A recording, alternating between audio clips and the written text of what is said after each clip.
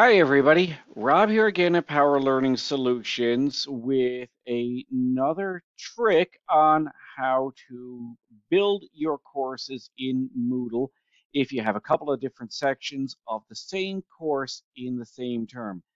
Now, ideally, you'd like to have all of your materials prepared and set up in your courses for your students before the term even starts, but in reality, we all know that that is not always possible Sometimes if, uh, for instance, you're teaching a new course or you're redeveloping a course, you're developing some of the materials on the fly. So in this example here, I've got two sections of the same course and uh, I have a few weeks of material prepared for them, but not the entire course.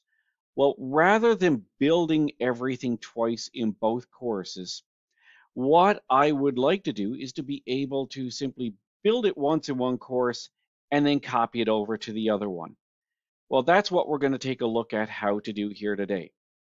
So this is my first section of this example course, and I now have all of my six weeks worth of content developed. This is an accelerated uh, course for uh, an intercession, so it's only got six weeks. Perhaps you have uh, 12 or 13 weeks or more weeks in your course. The same principles apply for how to do this. So in this course, uh, this section of it, I have all of my weeks now developed, and we're starting on week three. In the second section of my course, section two here, I already had weeks one and two ready to go for them. Uh, if you expand this here, you'll see that I have my content for week two for them. But when I go to week three, I have nothing ready in there for them yet. This is my second section of it, and that's what I had ready to go, weeks one and two at the beginning of the term. I've now developed weeks three through six over in this course. For our example, we're going to take a look at how to copy over just one of those weeks. The same trick applies if you want to copy over multiple weeks, but we'll just look at one of the weeks here. So what I want to do is go through the same steps that I would use if I was going to export the entire course, but I'm going to break it down a bit and just copy the particular weeks that I have now redeveloped. So I'm going to go over to my, uh, my settings cog over here, and I'm going to click on the backup option and it will bring you to this screen here. You're going to uh, leave all the backup settings at their default. And instead of clicking jump to the final step, which you could do if you're going to copy an entire course, in this case, I will click on next. And it's going to ask me what I want to copy. So what I'm going to do, I'm going to deselect uh, any modules I don't want to copy over. So I already have my uh, general course information, my course resources. I already have week one. I already have week two copied over for uh, section two of the course. Week three is now ready to go. And I'm going to turn off weeks four, five, and six in this case. And these extra resources, I don't need them. I'm just going to pretend that it's just week three, 13th to the 19th of May that's ready to go. That's the only thing that is selected here. So I'm going to click on next. And now, just like copying over an entire course, making a backup of it, I can just keep on clicking next till I get to perform backup. It has made a copy of the course for me. And in my course backup area, this is my file here right now. So I'm going to download this file.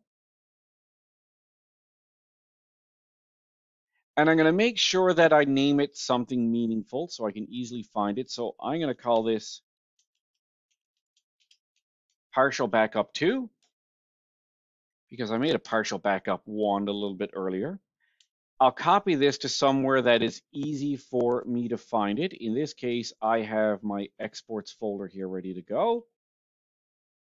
Now, I'm ready to import this into my second section of the course. So I'm going to come over to my second section of the course, which I have open in a different tab. Again, I'm going to go to the settings cogwheel here. And in this case, I will click on restore.